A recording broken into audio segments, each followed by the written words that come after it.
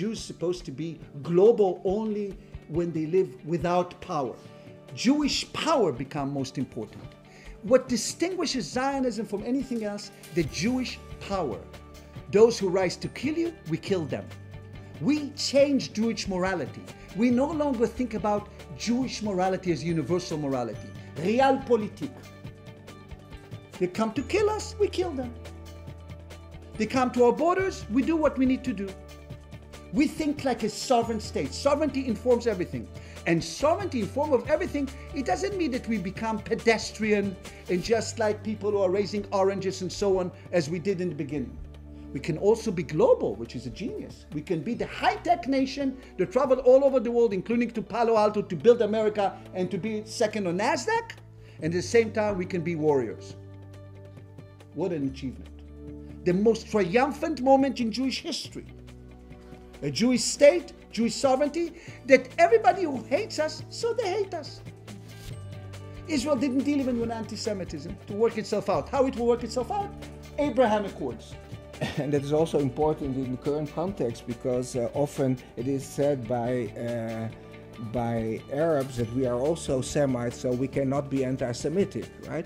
But if we look at the history of the term, then and it is a European development in a European understanding, Semites were Jews, and that is a, their replacement.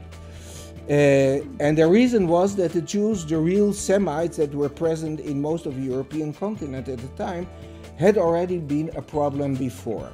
This is another example. This is a Philadelphia food uh, festival, and they showed up with this truck, the Moshava Israel inspired cuisine.